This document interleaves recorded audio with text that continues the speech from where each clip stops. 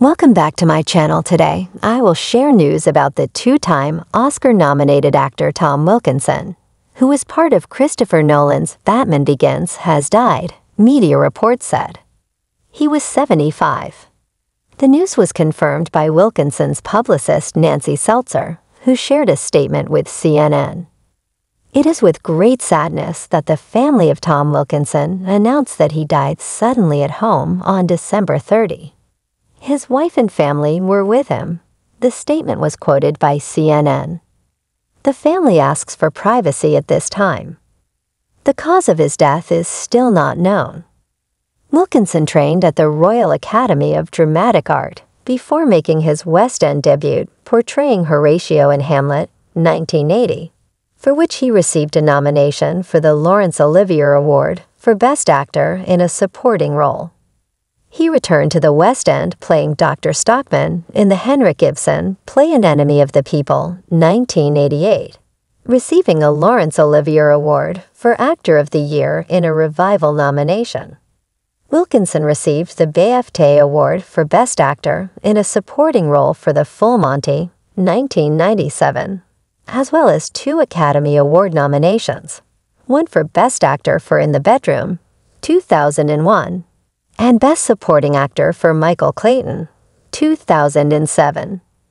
He became known as a character actor, acting in numerous films, such as In the Name of the Father, 1993, Sense and Sensibility, 1995, Shakespeare in Love, 1998, The Patriot, 2000, Girl with a Pearl Earring, 2003, Eternal Sunshine of the Spotless Mind, 2004. Batman Begins, 2005. Valkyrie, 2008. The Ghostwriter, 2010. The Best Exotic Marigold Hotel, 2011. Belle, 2013. Selma, 2014. The Grand Budapest Hotel, 2014. And Denial, 2016.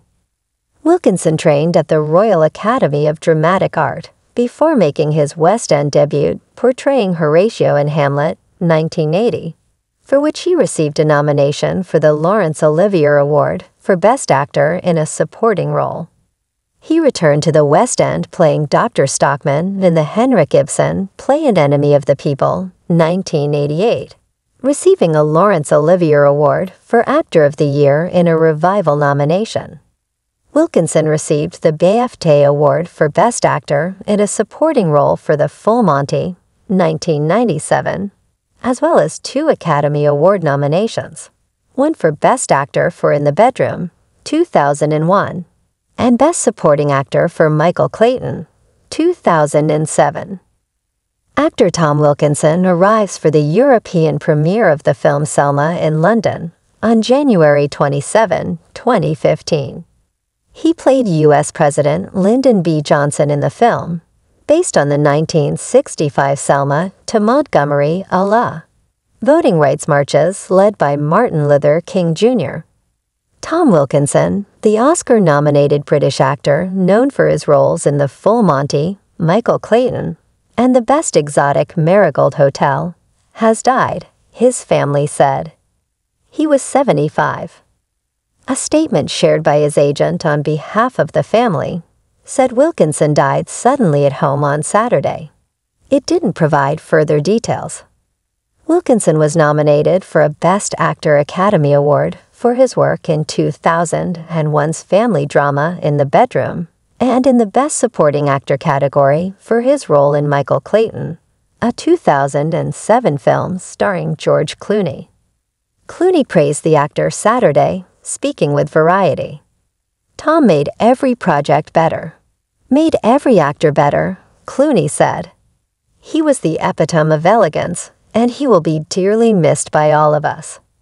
May he rest in peace. Don't forget to subscribe to my channel and share your thoughts with us in the comment section. See you in the next video. Bye and take care.